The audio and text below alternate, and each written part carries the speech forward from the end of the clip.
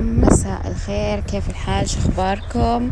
اليوم قاعدة عند الغنم ومستكنة على الأجواء البطلة آه شوفوا كيف الدجاج أصلا مبسوط بالبراد ما في شمس حارقة والغنم وكل شيء مبسوط. مرة مرة مستمتعين هم بعد بالأجواء زينا سبحان الله.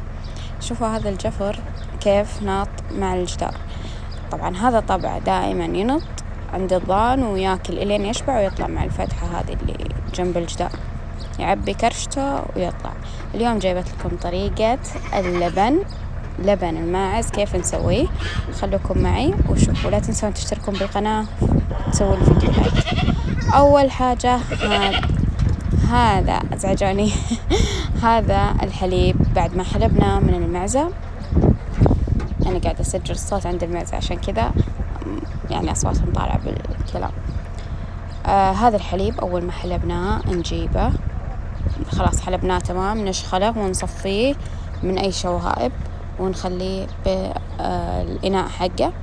بعد كذا نجيب آه عندنا لبن من السوق أو لبن قد سويناه قبل يعني من حق الماعز.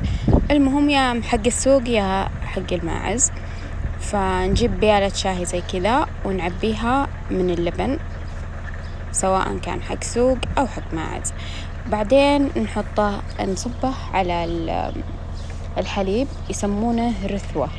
هذا الشيء يخليه يرثي بسرعة يعني يتحول إلى لبن بسرعة ما يطول. لكن بدون ما نحط اللبن آه، يطول يعني ياخذ وقت أطول. فنصب زي كذا نصب اللبن عليه زي كذا بس بيالة واحدة فقط.